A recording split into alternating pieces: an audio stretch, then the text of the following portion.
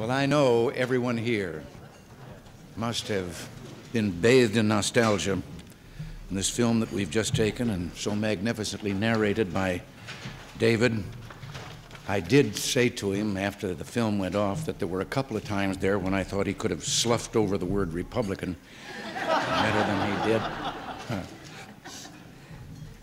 Gathered here as we are for a special occasion, I have to use a term right now that is reminiscent of a period really that had to do with that occasion and use a statement we interrupt the regularly scheduled program for a special bulletin.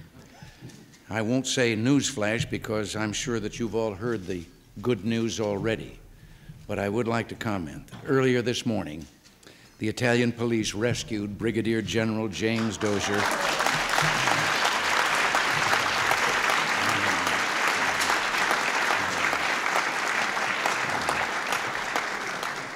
They rescued him from the terrorist hideaway in Padua where he had been held captive. His 42 day long ordeal has come to a happy ending, and the prayers of millions of Americans have been answered. I've spoken with the general by telephone, and I'm happy to relay his report that he's in fine shape, and I can tell you that just hearing him, I told Nancy he sounded as if he'd just gone down to the corner for five minutes. the same courage and resolve that James Dozier demonstrated on the battlefield in wartime have seen him through this new test with flying colors. His country and our allies can be very proud of this gallant man. I've also talked with President Pertini of Italy and expressed America's appreciation for the dedicated and effective work of the Italian authorities in tracking down General Dozier's kidnappers and saving his life. They too have acquitted themselves with honor.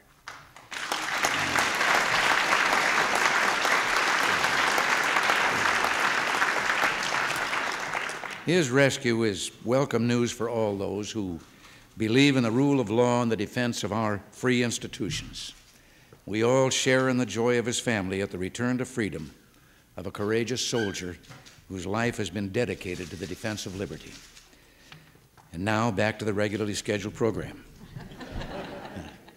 it's a pleasure to greet such a distinguished company in the White House on this very special occasion. For most of you, I know this is a return visit, the most recent of many. Each of your lives was intertwined with one of the most famous residents of this house. You too are a, part of its history. So, as the latest tenants in the People's House, Nancy and I welcome you back. We're all here today to mark the centennial of one of history's truly monumental figures, Franklin Delano Roosevelt. Historians still debate the details of his intentions, his policies, and their impact, but all agree that, like the founding fathers before him, FDR was an American giant, a leader who shaped, inspired, and led our people through perilous times. He meant many different things to many different people. He could reach out to men and women of diverse races and backgrounds and inspire them with new hope and new confidence in war and peace. Franklin Roosevelt was the first president I ever saw. I remember the moment vividly. It was in 1936, a campaign parade in Des Moines, Iowa. What a wave of affection and pride swept through that crowd as he passed by in an open car, which we haven't seen a president able to do for a long time. A familiar smile on his lips, jaunty and confident. Drawing from us reservoirs of confidence and enthusiasm some of us had forgotten we had during those hard years. Maybe that was FDR's greatest gift to us. He really did convince us that the only thing we had to fear was fear itself.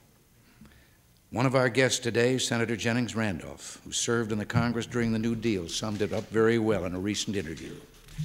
Senator Randolph recalled a Franklin Roosevelt, he lifted us up with a sense of joy. But I think his greatest contribution was that he discovered, we discovered ourselves as individuals. I count. That was his contribution.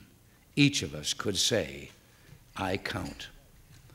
Well, of course, not quite everybody agreed at the time.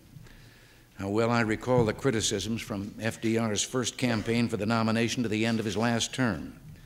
No less a pundit than Walter Lippmann wrote Franklin Roosevelt off at the starting line, dismissing him as a pleasant man who, without any important qualifications for the office, would very much like to be president. Forgive me, but now and then I think I've been hearing an echo.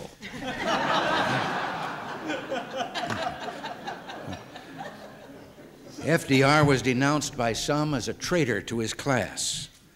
But people who said that missed the whole point of what he believed in and what this country's all about. There's only one class, and that's we the people.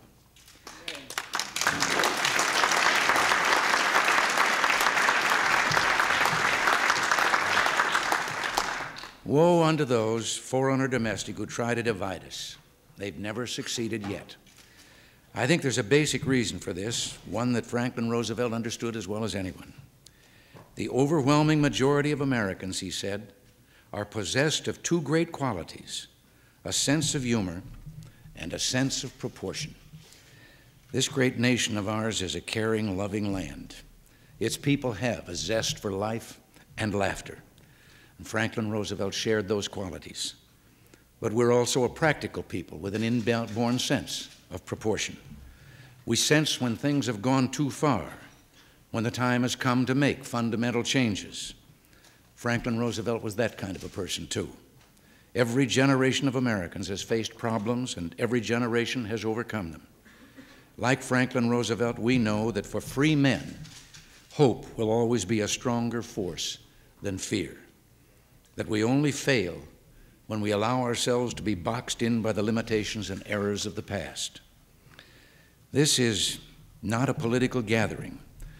It's a celebration of a great man who led our nation through historic times.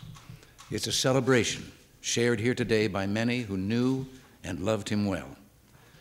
Friends, colleagues, and relatives, and for my part, a young sportscaster who first felt the awe and majesty of this office when that familiar caped figure drove down the avenue in Des Moines, Iowa in 1936. A figure who proved to us all that happy days could and would come again. In that spirit, I can think of no better way to conclude these brief remarks than to ask you all to join me in a toast, and I think he would join a toast to happy days, now, again, and always. To happy days.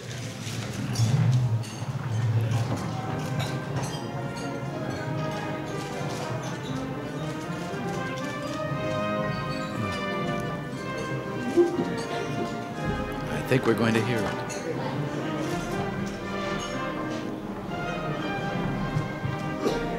I hope they are. Thank you all. Thank you very much.